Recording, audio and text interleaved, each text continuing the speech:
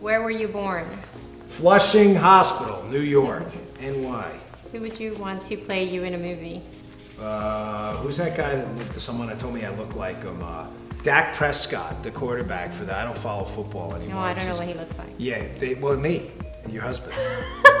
he looks like me. Seriously. Or maybe he's good looking and I look like him. Maybe he'll be offended. Alright. But if he chooses to I'll- act, I'll Dak have to look Prescott. him up. Maybe The Rock too. I think I said that. That was a good answer. time.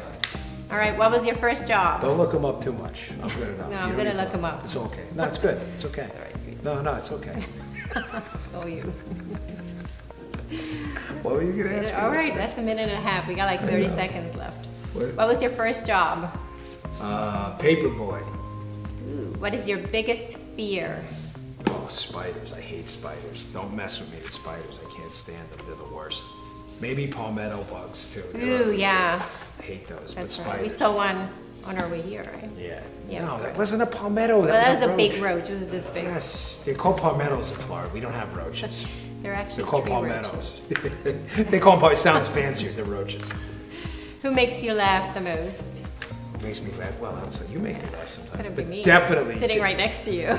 Come on, that Dave Chappelle thing was funny. Sticks oh, and Stones on Netflix. That was pretty hysterical. Juicy Smollett. Just watch the Juicy Smollett thing on Dave Chappelle. That is so funny. we couldn't stop laughing. Juicy Smollett. That were we not laughing about that or what? All right, all right. What Few more one- left. PremierCollectibles.com slash exonerated. Few right. more. What is the one thing you need to have in your fridge at all times? Uh, Should I answer that one? Can I pass? Lifeline. Life, who wants, what's that show? What's that show? Who wants to be a millionaire? where You get the lifeline. Uh, milk, Lactaid milk. Okay. Sure. What is your greatest accomplishment? Uh, my kids and you, obviously. Who is the most interesting person you met recently? Oh, that guy at the. We met this former uh, Major League Baseball. He was like a, a, a health guy, like a medical or a, a medical professional who worked for like every Major League Baseball team known to man. This guy had the greatest stories about baseball. I, what did we talk to that guy for about an hour and a half? Oh, yeah. I don't and think you didn't want to go. I didn't want to leave. He was We that guy was great. They, he was really awesome. Got some great pictures too. Yeah. Oh yeah, he had pictures with everybody. My What is your middle name? John. What is your biggest pet peeve? People who say literally. What is the last book Literally. you read? Le- Exonerated by Dan Where can you get Bongino. that book? Uh, I read the uh, Nassim Taleb, but I read my book because I did the Audible version too, so you can pick that up on Amazon if you don't like physical copies. I read it myself, which um, Anthony um, told me to do, but I loved it because I have to say that. But I did love it. It was fun because you got to read your own book because only you know. And where can you get that book? You can get this autographed book right here at premiercollectibles.com slash exonerated, and we would really appreciate it. What is your favorite hobby? Brazilian Jiu-Jitsu. it's also your favorite, right? You love that I do that? Mm, no. Tell them how much you hate it. That I, I can't that. stand it. That's Every why you know my elbows, they don't I straighten. know. I know, it's always bad. She's always afraid I'm going to come home dead or something like that. Or Sometimes. very hurt. Yeah, which is usually every other Yes. week. What is your guilty pleasure? Uh, Oreos, I think, with Mimi when she Oh, watches yeah. American Got Talent. They watch America's Got Talent every Tuesday and they have Oreos together. Yeah.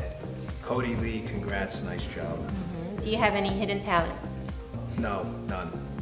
I have no talent other than talking about I would politics. disagree. Yeah. I know What you. color is your toothbrush? I know you. I absolutely. I know you. And I can't share those.